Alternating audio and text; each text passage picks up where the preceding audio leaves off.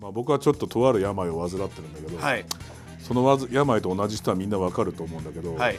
あんまりね自分で名前のこと言う人いないんだけどいない。気が気ある程度気を許した仲間内で喋ってる時に、はい。釘宮理恵さんが「理恵は?」っていうのね。うわかる。たまんねえんだよ。わかる。わかる。